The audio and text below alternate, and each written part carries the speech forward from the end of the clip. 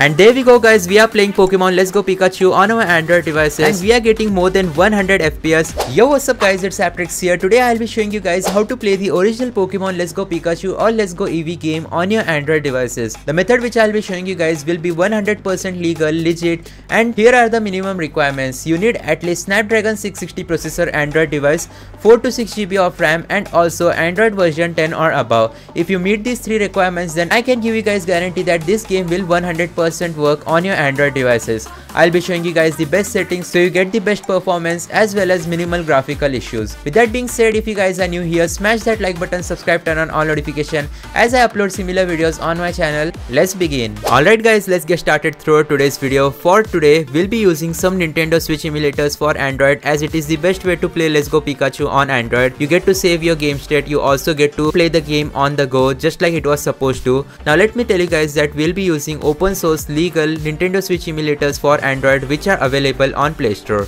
For example, we have the Yuzu emulator, we also got the EggNS emulator and we have Skyline emulator. I'll be suggesting you guys the top 3 emulators for Let's Go Pikachu on Android. On the number 3 spot, we have Yuzu emulator Android. Personally speaking, I wouldn't go with this emulator, at least on my device it doesn't work great at all with Pokemon Let's Go Pikachu.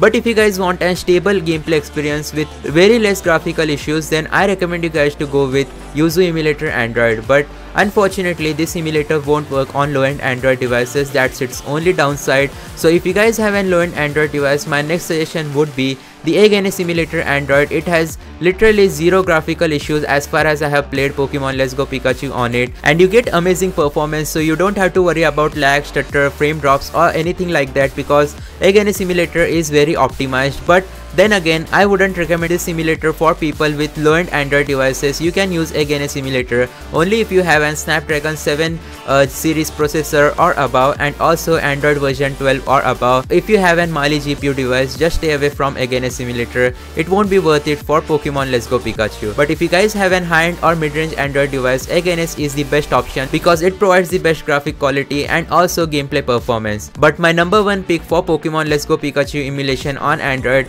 has to be the Skyline Edge version 69. This emulator is the best for playing games like Pokemon Sword or Pokemon Let's Go Pikachu. And as I was saying, Pokemon Let's Go Pikachu works really great if you apply the best settings which I'm about to show you guys. So let's get started. Let me open settings. Now you will face some graphical issues here and there if you try to emulate Pokemon Let's Go Pikachu with the help of Skyline Edge emulator. But I am pretty sure that once the Strato emulator is released, you won't face any of these graphical issues.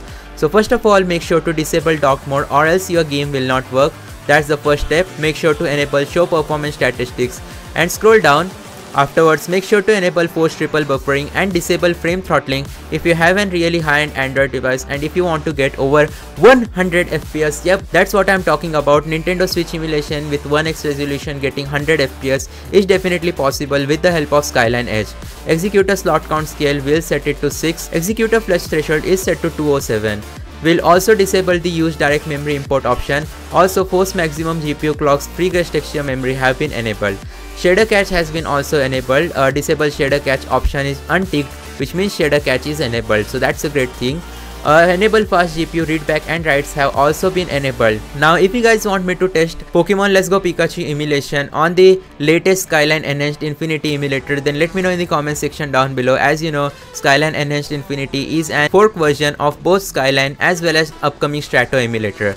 Anyways, I'll also recommend you guys to add an GPU driver. Uh, if you guys have an Adreno 6 series or 7 series GPU, make sure to use Mesa Turnip Adreno driver. This only works with Adreno 6 series or 7 series GPU, it doesn't work with Mali GPU. Now if you want to find out which Adreno series GPU your device has, uh, then you can try out CPU-Z app. Inside that you will get to see uh, the specifications of your Android device. Anyways, a brand new Turnip driver was just released today which is the Mesa Turnip Adreno driver version 7 release by Kimchi. Now it has the latest Vulkan drivers as well. So we'll just go back, we'll be using these graphical drivers and those were the best settings for playing Let's Go Pikachu game on your Android devices. Now the next step is to import the Pokemon Let's Go Pikachu game itself on your Android device. For that you will need to dump your own copy of the game from your Nintendo Switch legally. That's what I'll recommend you guys. Make sure to dump the game from your Nintendo Switch and afterwards make sure to set up Skyline emulator on your Android devices. I think I have already made a video on Skyline setup which I'll put on the iCard above. Other than that once you follow all these steps you should be 100% fine to playing Let's Go Pikachu on your Android devices. So let's just go ahead and tap on the play button.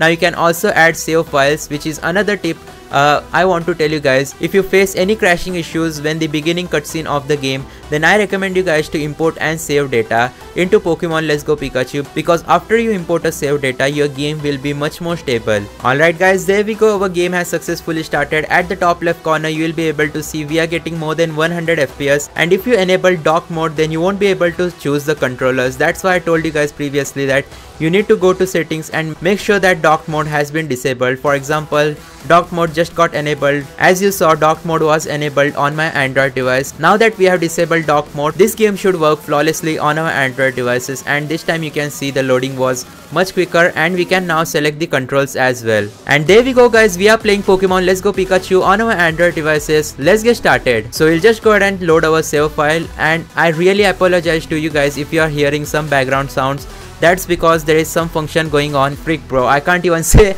But anyways as you guys can see at the top left corner we are getting 60 fps on pokemon let's go pikachu while emulating it on my android device. My android device has snapdragon 8 gen 2 processors 16 gb of ram. Yep it is oneplus 11 so as you guys can see i am playing pokemon let's go pikachu on my android device and we are getting more than 100 fps immediately we see a increase in fps and as i told you guys before 100 fps nintendo switch emulation on android is possible with the help of skyline edge emulator. And you can also see the graphical issues are very minimal nothing to be worried about. So as i told you guys before uh, even in battle scenarios my fps is going way over 100 so it is pretty crazy guys. 60 fps is all the fps that you need. I am even unable to catch the pokemon because the fps is so high that uh, it takes a lot of delay from when i tap the button and when uh, the pokeball is thrown anyways we got ourselves a brand new Rattata so we just met our rival let's see if we can battle with him and defeat him show him who's the boss bro let's go Gary this is the first battle I guess with this save file so that would be pretty interesting. He has Pidgey, I have Pikachu. Obviously we know which Pokemon is going to win. Uh, electric type has an advantage over flying type so obviously one hit kill for Pikachu. Let's just go ahead and see the next Pokemon which he has. He will send Eevee. We got like 6 Pokemon so we are fine bro. Thunder Shock on Eevee uh, and Eevee is always faster because it has insane speed. So I'm not really sure if my Pikachu can defeat this Eevee Yep, it can indeed defeat it guys. There we go. I think the speed of Eevee as well as Pikachu is tied. That's why Eevee went first. Uh, but then again for the next two rounds Pikachu went first. So there we go guys. That's Pokemon. Let's Go Pikachu. On our Android devices be sure to subscribe and hit that like button if you want to watch similar videos on my channel.